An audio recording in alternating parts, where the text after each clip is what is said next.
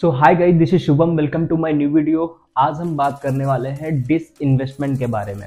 Union government ने इस बार union budget में 2023-2024 में 51,000 करोड़ रुपए की डिस इन्वेस्टमेंट करने के बारे में सोचा है। डिस इन्वेस्टमेंट होता क्या है?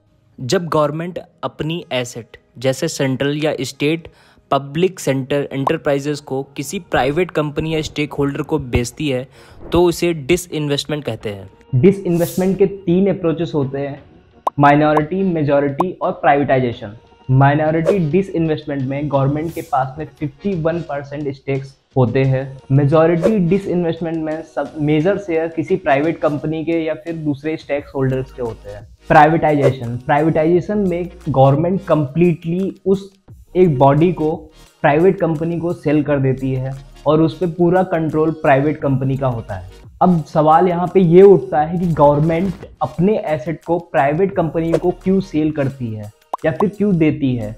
इसके सेवन रीजंस हो सकते हैं, जिसका पहला सबसे बड़ा रीज़न फ़िज़िकल बर्डन हटाने के लिए। दूसरा, अगर किसी ईयर में रेवेन्यू कम हुआ है तो उसको मीट करने के लिए फ़िज़िकल डेफिसिट को पूरा करने के लिए, किसी सोशल सेक्टर या प्रोग्राम में इन्वेस्ट करने के लिए। गवर्नमेंट डेप्थ भरने के लिए और मार्केट में compete करने के लिए और अगर कोई एसेट जो गवर्नमेंट पे बर्डन हो गई है और प्रॉफिट नहीं दे रही है, जैसे BSNL अभी हम ये डिस्कस कर लेते हैं कि अभी के टाइम पे डिस इन्वेस्टमेंट का क्या स्टेटस है।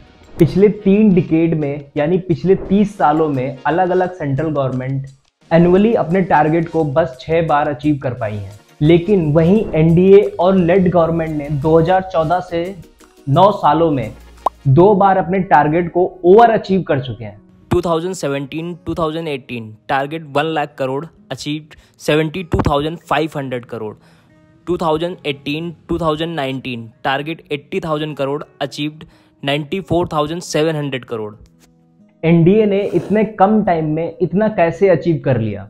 2017 2018 में हिंदुस्तान पेट्रोलियम लिमिटेड यानी एचपीसीएल को state owned oil and natural gas corporation यानी ओएनजीसी को बेचने से गवर्नमेंट ने 36,915 करोड़ की अर्निंग की। 2018 और 2019 में आरईसी लिमिटेड को state own power finance corporation limited को बेचने से 14,500 करोड़ की अर्निंग हुई। 2021 एंड 2022 में जब गवर्नमेंट ने एयर इंडिया को टाटा ग्रुप से ऐड किया तब गवर्नमेंट को काफ़ी लॉस हुई। 75 लाख करोड़ की जगह पे सिर्फ़ 13,534 करोड़ की अर्निंग हुई।